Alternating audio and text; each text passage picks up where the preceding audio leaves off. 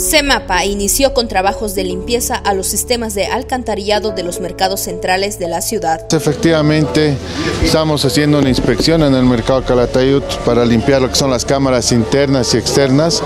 Podemos observar que esta cámara interna del mercado tenía muchísima grasa, que esto ocasiona que obviamente colapse.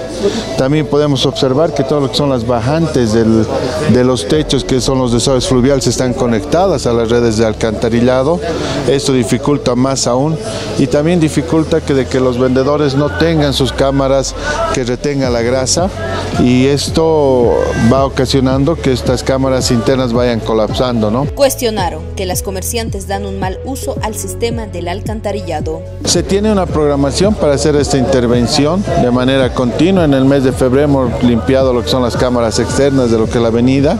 Ahora vamos a realizar lo que es la limpieza de las cámaras internas. Pero lo importante es entender de que estas cámaras empiezan a colapsar por el mal uso que le dan. El mercado Calatayud tiene 65 años al servicio de la población y por este tiempo se fue deteriorando el sistema del alcantarillado. Es así que nosotros recurrentemente hemos pedido el auxilio a CEMAPA, hemos pedido a la alcaldía municipal para que se pueda de una vez por todas tener una red de cámara de, de alcantarillado aquí en este mercado porque el que tenemos está totalmente obsoleto.